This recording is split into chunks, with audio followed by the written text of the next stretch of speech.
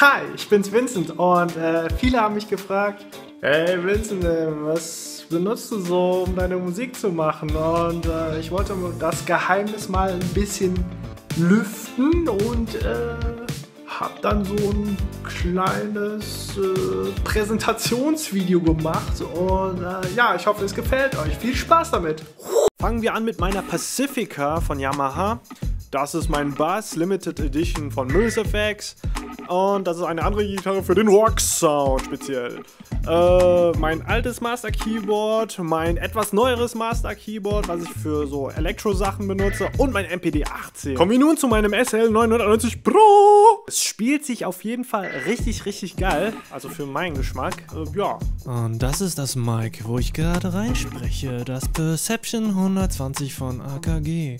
Hier haben wir das Perception 170, auch von AKG, um so meine Akustiksachen aufzunehmen. Das ist das geilste Teil überhaupt, was ich mir jetzt gerade geleistet habe. Das Ableton Push. Oh mein Gott, ist das geil.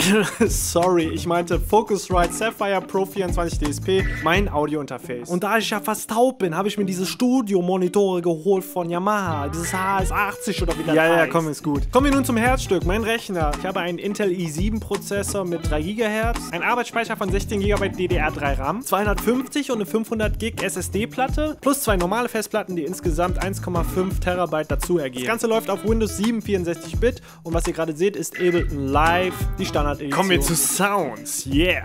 Silent One, mein Lieblingssynth. Also der ist richtig geil. Und Synth One, der natürlich in meinen Augen mehr so für die Retro-Sachen gut geeignet ist. Aber ja, auch für moderne Sachen. Und dann haben wir Massive dieses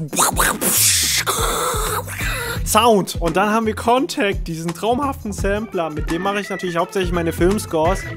Ein Traum. Und natürlich darf ich auch nicht vergessen meine riesige Sample-Sammlung, die ich entweder recorded, gecuttet oder gekauft habe. Äh, ja, das war es eigentlich auch schon. Hi, und da bin ich wieder und ich hoffe, ich konnte euch etwas Licht ins Dunkel bringen, wie ich so Musik mache oder mit was ich Musik mache. Und ja, ähm, lasst es mich wissen, was ihr davon haltet. Oh, natürlich ist wahrscheinlich mein PC Schrott oder sowas und ich könnte mir einen neuen holen oder sowas. Äh, Schreibt es ruhig in die Kommentare. Ich bin gespannt auf euer Feedback. Ciao!